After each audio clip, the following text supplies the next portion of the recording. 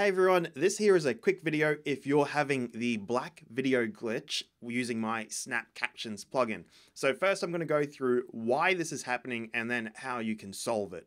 So let's go through this now. When you use my Snap Captions plugin, and if you don't know what that is, you can check it out here. But if you've been using my Snap Captions plugin and you generate your subtitles, generate your text right here, when I play it. Did this, you know that we can there's finally just a black video there. There's no actual content, but there is a video. If I hide it, in DaVinci Resolve? so what's going on? Well, as some of you have discovered and mentioned in the comments, is when you go through and you actually change the font, it changes. So what's happening is either one of two things here.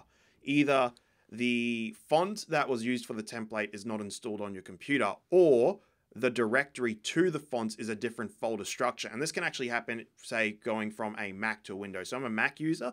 So anyone with Windows, even if you have the same fonts, you may actually still experience this black video. So it is quite annoying, and yes, that is the is a bit of a problem. But there is a easier solution because what ends up happening is most people think we have to go through and change the font on everything. That is definitely not the case. What we can do instead is we can go to this actual font template itself. So in the Snap Captions folder, this one's called Green Dream. It's just something I made up for this video. Here's the easiest way to fix these templates without going into the whole Fusion page and getting hyper technical. All we have to do is drag the Snap Captions templates we want to use, drag them down here. And then when we see this, yep, we see we get the black video. Now we can change this to whatever we want. So let's just change this to Roboto black. Now, all you have to do is drag it back in here, rename it to what that originally was. This might be Green Dream version 02. And now, if we were to use Snap Captions again to Workspace, Scripts, Comp, Snap Captions, now I'm going to choose the version 2 here.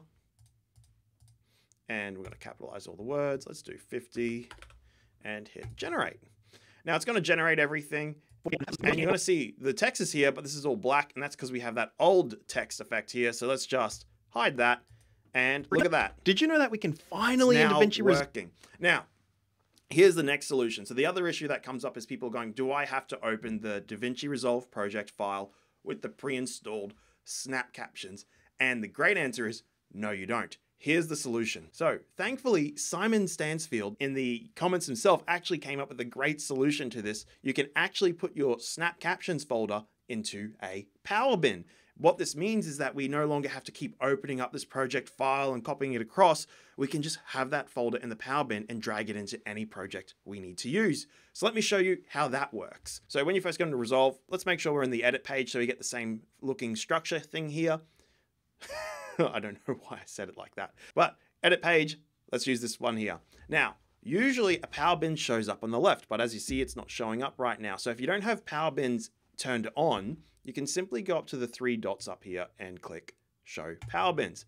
And voila, here it is. This is how we use power bins to dramatically speed up our process with snap captions.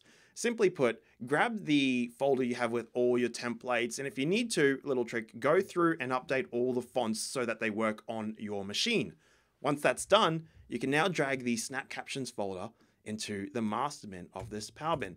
And here it is here. Now, the great thing about this is every time we open up a new project file, we can simply drag the snap captions back into here and it will create a new folder. Just be warned, because there was already a snap captions folder in here, it created this as a snap captions copy, which means that my snap captions plugin will not reference that folder because it's not exactly the title it needs to be, which is snap captions, capitalized letters, no no other things. it's got to be exactly that. Now, but the beautiful thing is that if you don't have any folder called snap captions in here, when you just drag and drop it in, it's exactly as it needs to be. So when I go to workspace, scripts, comp, snap captions, there they are, all being referenced perfectly normally. Awesome stuff. So again, I have to just give an absolute massive shout out to Simon Stansfield really great tip. I'm really amazed that we're having such an awesome community coming together to make this plugin the best. I think together, us DaVinci Resolve users can completely dominate the animated text space on social media. These other people, these CapCut editors, these Premiere editors, they don't know what's coming. So that's pretty much all I have to share today. I really hope you enjoyed this video. I really enjoyed making this, and I'm so grateful to have such an awesome community coming together to make this work. I can't wait to see what you guys come up with. And until next time, I'll catch you around.